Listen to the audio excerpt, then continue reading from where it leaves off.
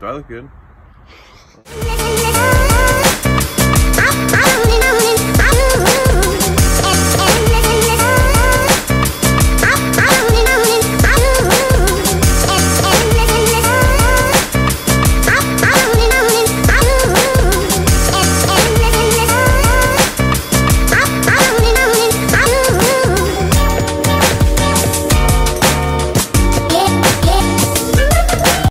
What's up guys, welcome back to AutoHeadz. I'm really excited for this video install today. It's gonna be a Raptor grill, my 2016 F-150, and it's going to be step-by-step -step instructions. I looked all over YouTube and I was not able to find a single video that went from point A all the way to point Z. Um, there's always something they skip, either the wiring or just forgetting huge portions of how to uh, do this install.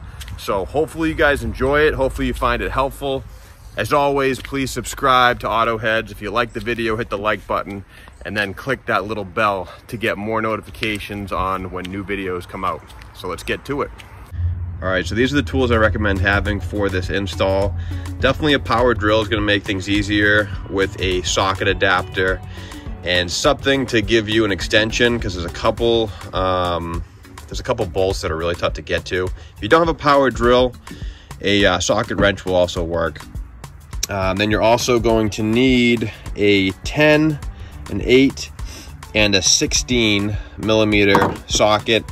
Um, it would make things a lot easier also if you had all of these in deep sockets. And then um, some kind of a wire stripper tool these two, in my opinion, are must-haves. It's going to make the whole job way easier. I'm going to put the link to uh, both of these in the description of the video. This is just like a pin, like an automotive pin remover. Um, there's a bunch of pins. The majority of this install is removing pins, if I'm, be, if I'm being honest. Um, so definitely get something like this. And then this also makes the wiring a no-brainer, and um, it makes it so you can't mess it up. This um, is, it's made by Kuject, but it's just a, uh, a wire tap assortment kit. And uh, we'll get to more detail later on about these. All right, so first things first, we have to remove all of these little push pins. Um, for the video, I marked all of these with a little silver metallic Sharpie and uh, that's gonna help you guys see which ones to remove. It took probably five or six videos for me to figure this out step by step. There is not, I mean, I haven't seen one YouTube video on YouTube that actually takes you through step by step, doesn't skip any parts, and includes the wiring. Um, you know, there's a few that you could watch where you could put it all together, but my goal for this video is to have everything step by step so you guys can do this and it only takes one video for uh, for you guys to learn how to do it. So here goes. All right, so this is gonna be the bulk of what you guys be doing for this install. Um, these push pins, there's a ton of them. So I'm gonna go over how to do it real quick, and that's why getting this tool is really important. Use the description and the link. Uh, don't be cheap, just buy it, and it's gonna make the install go way smoother, and it will allow you to not be breaking these with an improper tool because they're actually expensive to get from Ford, and I think that's like the only place you can really get them where it's gonna fit properly. Um, you don't want to have, you know, you don't want to have your grill with only half the push pins in it rattling around and everything else. So just get the tool and it'll, it'll make the install that much easier. All right, so how you use this tool is there's a little opening on these. You're gonna get your tool in here. Kind of go back and forth a little bit. Pull it up. And then once you're, you know, a quarter of an inch high, you can go under the whole clip and the whole thing just comes out nice and easy. And that's gonna save you guys a bunch of money and headaches. Otherwise, you're gonna be messing with the stupid flathead screwdriver, breaking these left and right. So if you use a tool like this, I'm telling you, you won't regret it.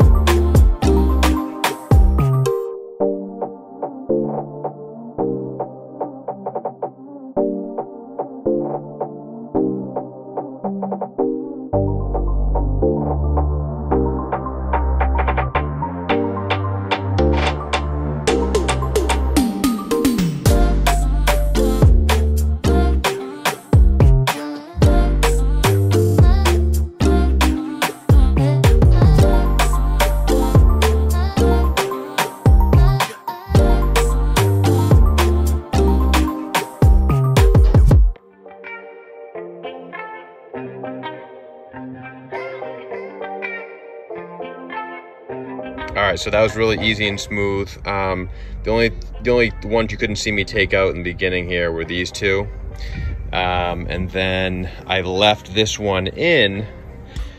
Um, and it's kind of a different design. It doesn't have the clip, so just kind of pull it gently, work its way out, and then I would suggest maybe keeping it in this little uh, this little fabric. But that's it. It was really easy using that tool, so no problems there. And now we got to remove this shroud piece.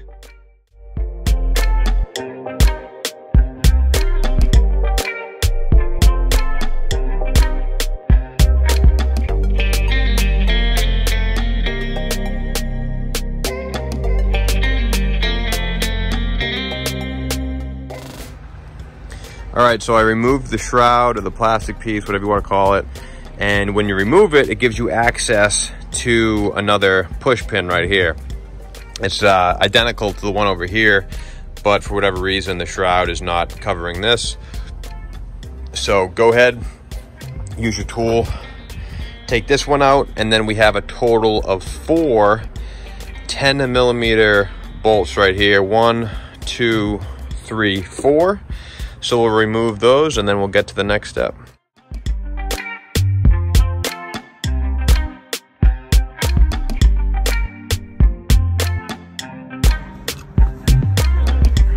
Now this is when you're going to use your 10 millimeter socket.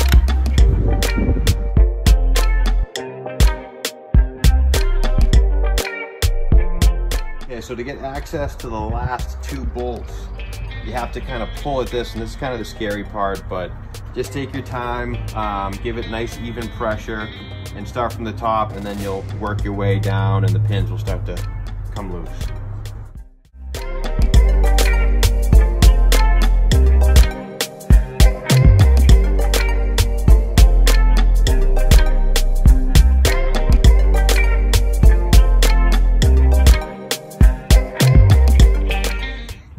Right, so once we're able to kind of unloosen or unhinge this piece, this kind of headlight piece back, it reveals the last two pins holding this whole grill together. We already got that one.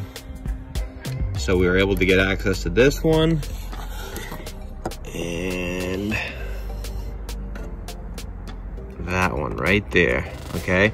I'm not gonna be able to film me removing this one um, but it's the same story, all right? Just use this tool, slowly pry it out, and then uh, it's the same thing on the other side.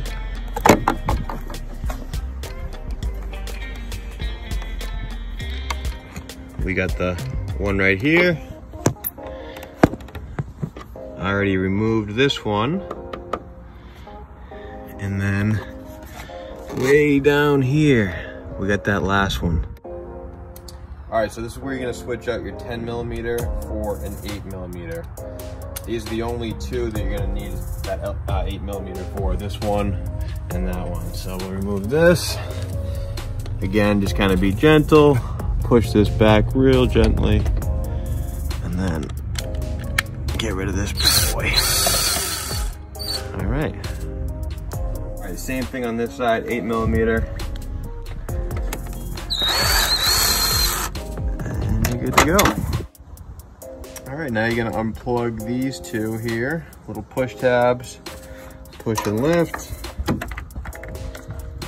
push and lift. All right, there's also another little, looks like a zip tie, and some of these videos have you cut these off. There's no reason to do that. Um, it's actually a zip tie and a push pin underneath, so same thing. Get your tool, carefully work it out and it pops right out. All right, so we've removed those two remaining pins, total of three on this side, three on this side. Now we should be able to lift up the grill and pull it back. You have to lift it up, it doesn't just come straight back. All right, so let's give it a try. All right, there we go. Easy peasy, grill is out. All right, so on the top of the the uh, the grill here I marked again with the silver marker here. These are going to be just the push tabs that you can use with the with the um, push pin remover. So we're going to have one two three four of those. And then moving on to the side that's going to be a 10 millimeter these are kind of weird. Um, these are also gonna be 10 millimeter and that's gonna be your, uh, your deep socket. These just kind of screw up against the plastic piece. There's one, two, three of those. Another 10 millimeter right here. And the tricky one that everyone misses is this one right here. That's gonna be, you're gonna need an extension, that's an eight millimeter. And then once you remove all of those, this whole grill should come right off.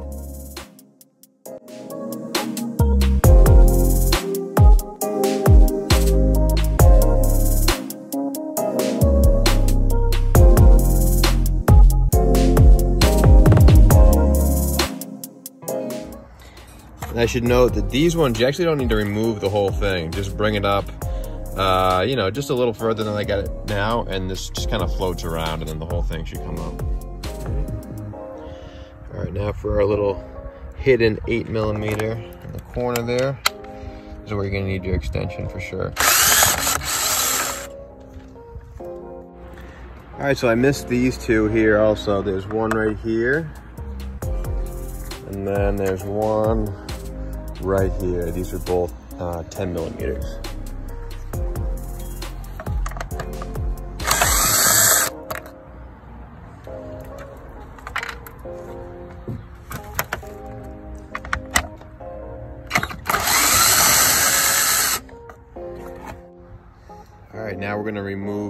Four pins on the top. Back to the pry tool. Just kind of sneak under here. A little pressure Should lift up. The whole thing, you can see how that works, obviously. That just keeps it fastened. And then you get four of those.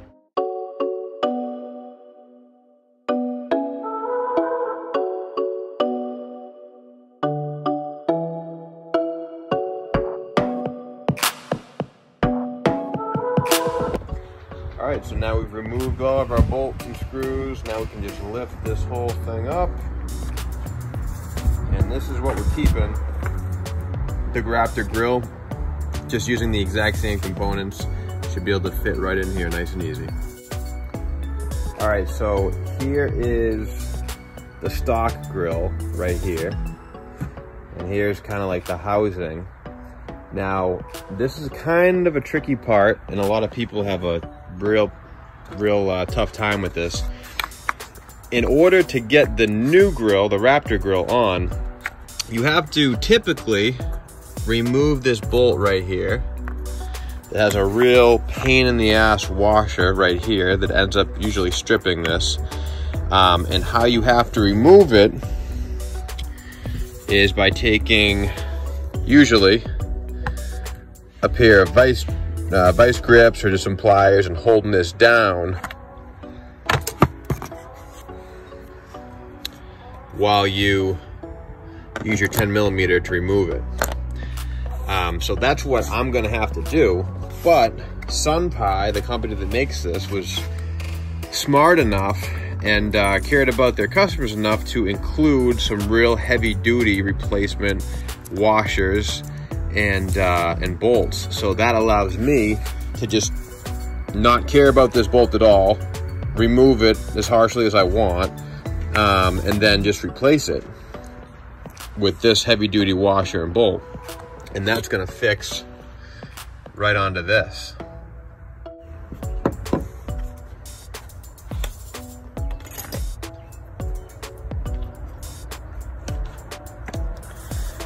All right, so I've kind of already kind of worked this a little bit, but use some clamps, probably some vice grips would work even better. Get your 10 millimeter.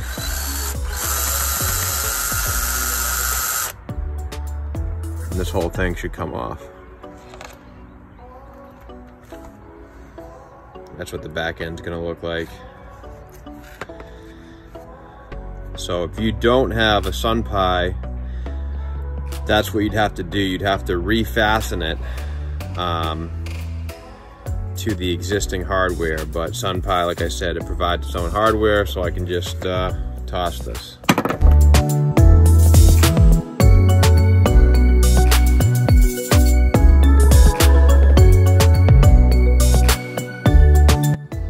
All right, so all four of those pain in the ass bolts are removed. I said before, one right here, one right there, one right here, and one right there. These will be replacing those. All right, so now I think we should be able to get this bolted on.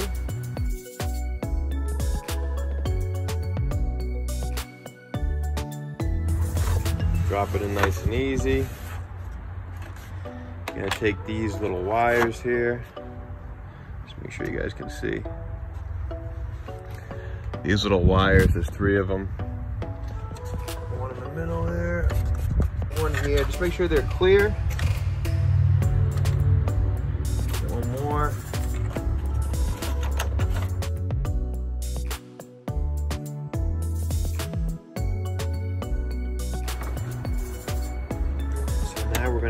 Put that hardware that SunPie gave us. If I can find it, here it is.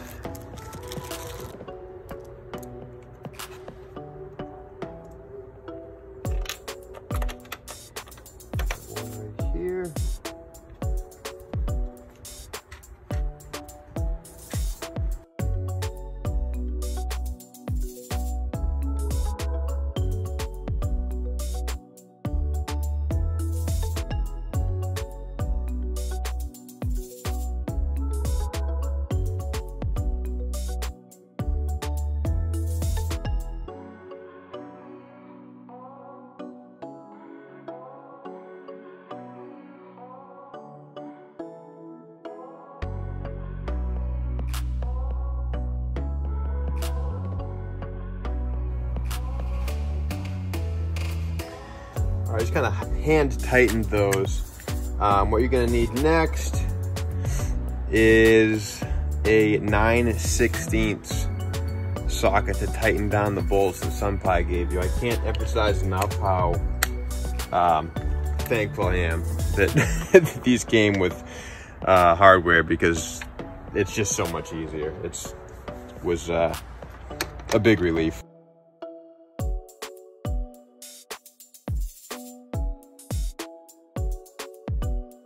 Now we're just gonna flip this, just like so. Just make sure you guys can see that. Um, now we're where the those push pins are. I already put these three in. Um, I haven't tapped them yet, but these push pins, just put them right on in here.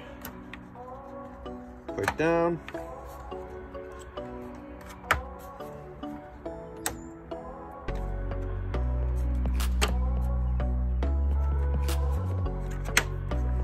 Set. All right, let's flip this around.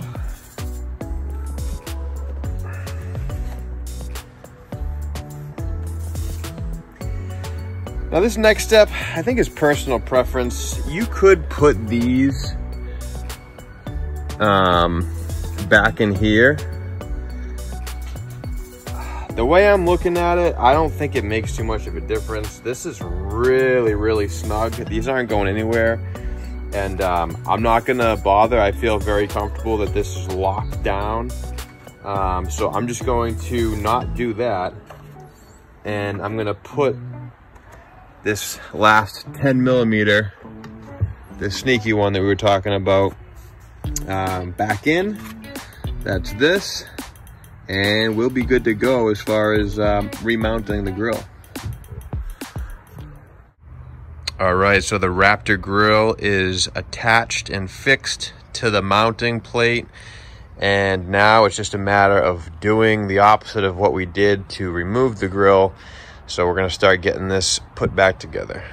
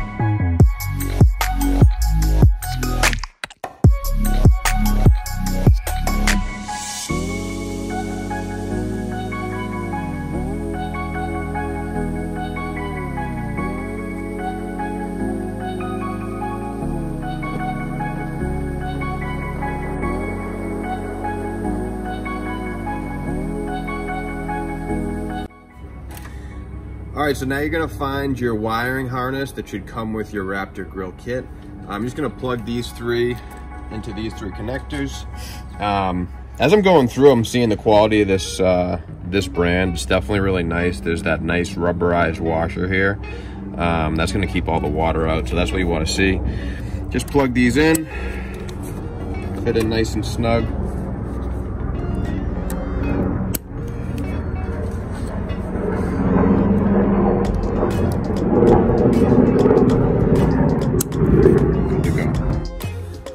This is the portion of the video where I have not seen one YouTube video that explains this. For some reason, everybody just skips right over the wiring portion, which to me is probably the most complicated part of this whole install. So I'm gonna really go slow and break this down for you guys. Um, if you come over here, the kit that I told you guys to get, which is gonna make the whole install a lot easier. This, these little pieces right here, you're just gonna take this wire and slide it in and then you're gonna crimp and that's gonna give you your connection. So we'll go through that right now. All right, so these come pre-cut, which is nice. So just gonna pull these taps off here, get rid of those. And you're gonna use this connection. And uh, you can give the wire a little twist.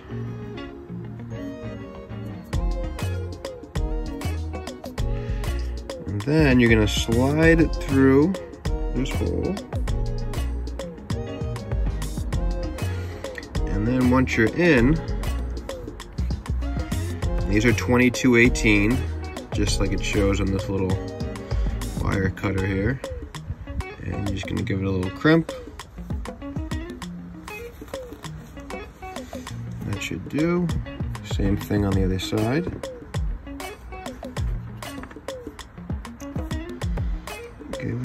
Twist here.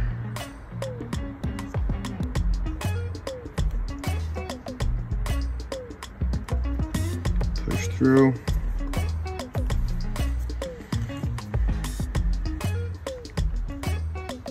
Crimp.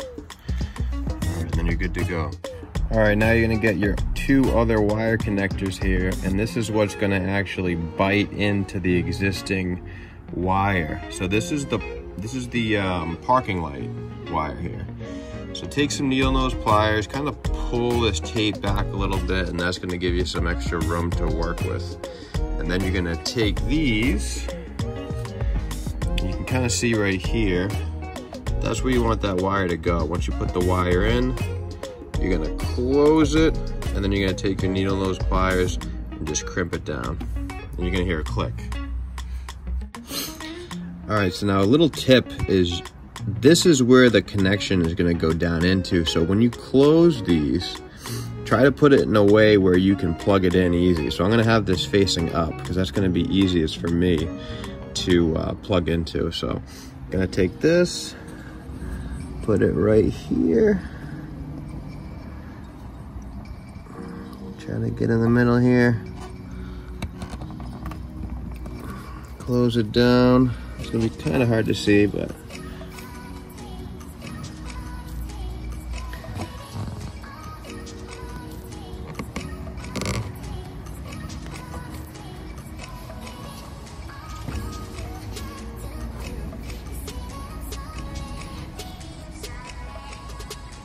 All right, that should be good on that side.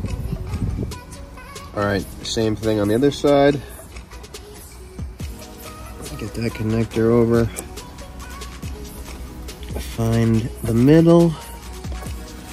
it's pretty tight in here, so bear with me.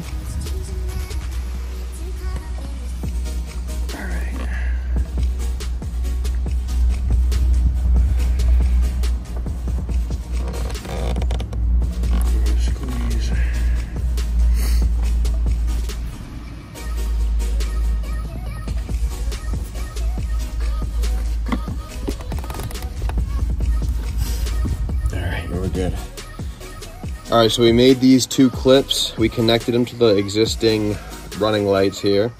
And now we're going to use our connections and just plug them in. So make sure the red is going to your green and red wire and the black wire is going to your black and yellow. At least that's how it's set up in my truck. They might be different depending on the years, but typically black goes with black, red goes with red.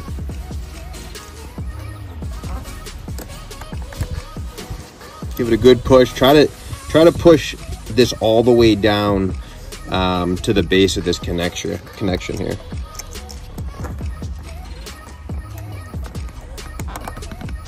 All right. All right, moment of truth. Take out your key fob, hit the unlock button, and hopefully this lights up. Woo, baby! We're in business. All right, guys, so that's it for today's video. I hope you guys enjoyed the Raptor Grill install. I tried to go as step-by-step -step and detailed as possible so there was no guessing games.